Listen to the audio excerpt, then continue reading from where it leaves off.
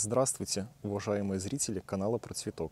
Меня зовут Дмитрий, я садовник и владелец личного подсобного хозяйства.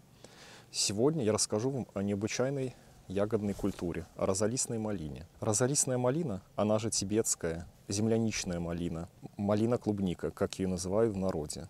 Что же это за ягода? Родом земляничная малина из Юго-Восточной Азии. Это невысокий кустарник, до 1 метра высотой, Побеги травянистые, густо усыпанные шипами. Цветет малина июне-июле крупными белыми цветами. Ягода начинает созревать уже в начале августа, и созревание длится до самых морозов. Ягода очень крупная, в диаметре может достигать 3 сантиметров. По вкусу ягода сладкая, но без особого аромата. Вкусовые качества раскрываются при приготовлении варенья.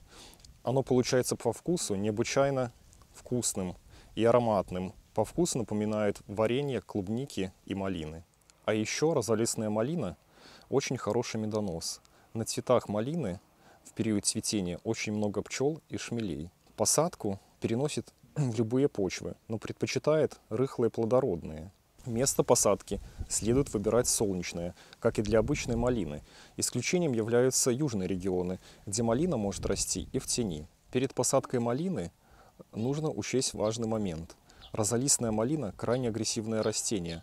Она быстро разрастается корневой порослью и захватывает обширные территории. Перед посадкой следует оградить место. Используют шифер, либо куски профнастила, их вкапывают в землю и проводят посадку розалистной малины. Можно также использовать старые баки.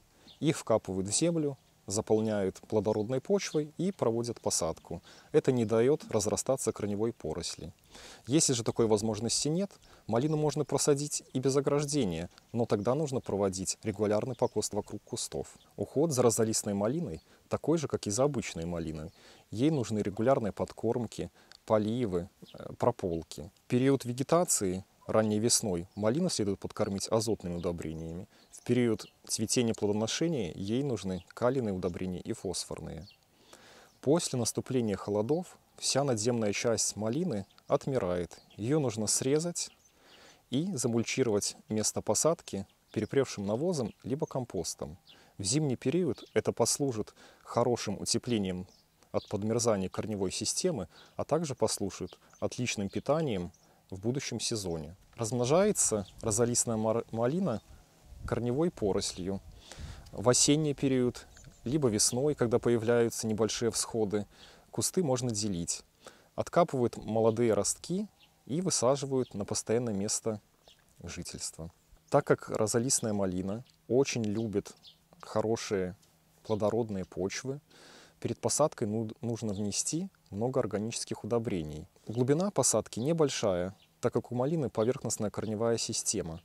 Заглубляем примерно на 10 сантиметров. После посадки нужно пролить хорошо почву, чтобы земля уплотнилась и корневая система хорошо прижилась. Вот. Место посадки также лучше оградить какими-то материалами для предотвращения разрастания малины. Розалистную малину также можно использовать как декоративную культуру. Из нее получаются невысокие бордюры. А, можно использовать для посадки в цветниках. А, она имеет очень декоративные большие белые цветы в период цветения, а также очень яркие красочные ягоды. Вредители и болезни поражают розалистную малину крайне редко. Это очень выносливая и неприхотливая культура. Всем советую посадить данную культуру у себя в саду. И она будет долгие годы радовать вас зрелыми, красивыми ягодами. Спасибо за внимание. Всего хорошего. Ставьте лайки, подписывайтесь на наш канал. До новых встреч. thank you